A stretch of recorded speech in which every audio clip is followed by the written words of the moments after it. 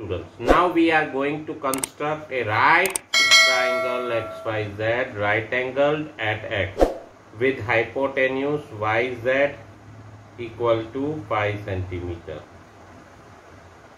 So drawing a rough sketch of that and XY is 3 centimeter.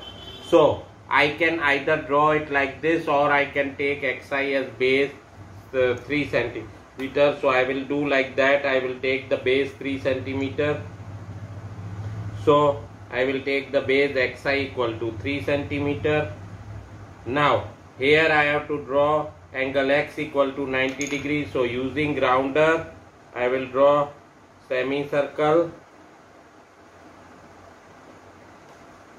Now on this semicircle I will mark 60 degree and 120 degree. Now I will bisect 60 and 120 to get 90 degree. Now I will join this bisected angle arc and this. And now I have to cut 5 centimeter on that. So I will measure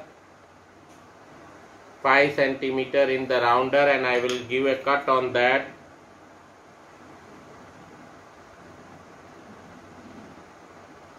with y as center and radius 5 centimeter I am putting a cut here.